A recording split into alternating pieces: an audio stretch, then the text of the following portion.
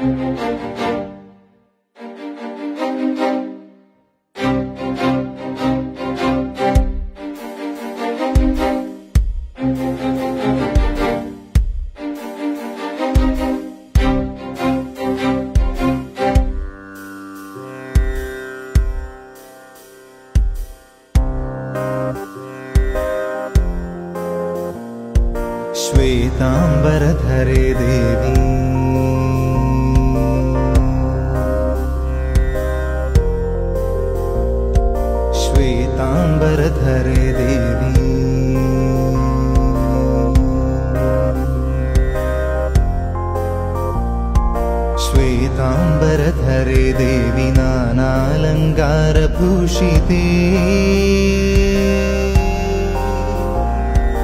जगत्स्थिते जगन्मातर्महालक्ष्मि नमोऽस्तु ते।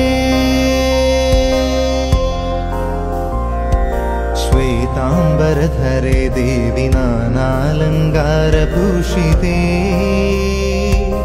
जगत्स्थिते जगन्मातर्महालक्ष्मि। नमोऽस्तु ते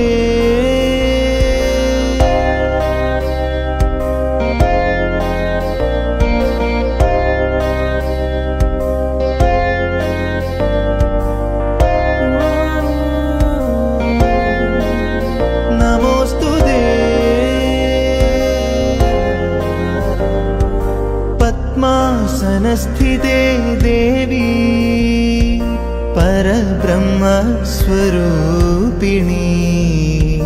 पद्मासनस्थिते देवी परब्रह्मस्वरूपिणी।